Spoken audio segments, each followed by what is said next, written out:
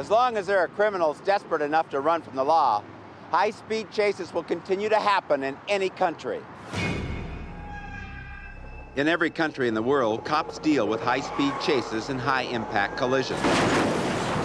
There is now a multi-million dollar worldwide business testing cars so that drivers have a chance to survive those collisions. Each year, thousands of lives are lost. Millions of dollars in damages are caused by traffic accidents. It's up to the men and women in this growing field to ask the tough questions.